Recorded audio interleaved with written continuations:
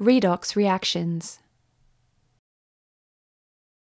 When magnesium combines with oxygen to form magnesium oxide, electrons on the magnesium atoms are more strongly attracted to the oxygen atoms than they are to their own nuclei, so they swap over, creating two ions.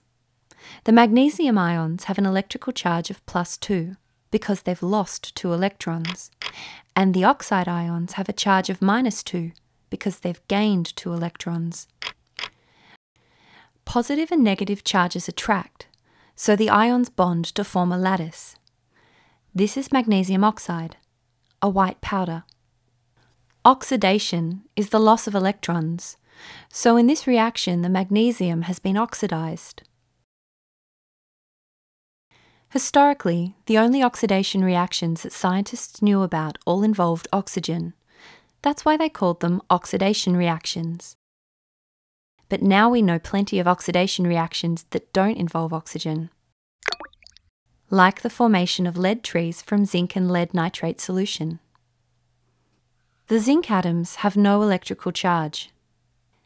Lead nitrate solution, on the other hand, consists of positively charged lead ions and negatively charged nitrate ions moving about in water.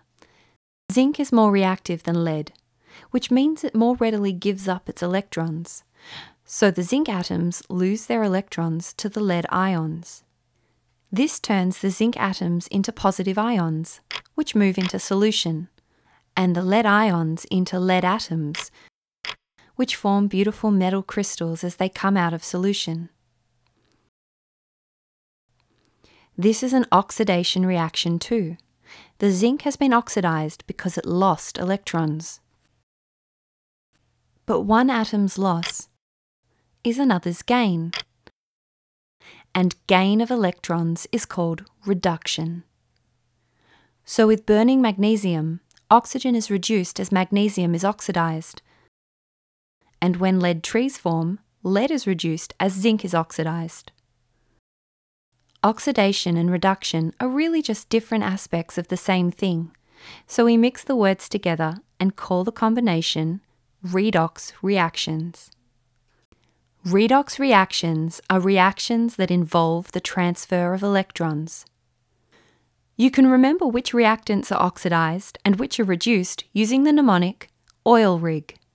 Oxidation is loss and reduction is gain. Oil rig.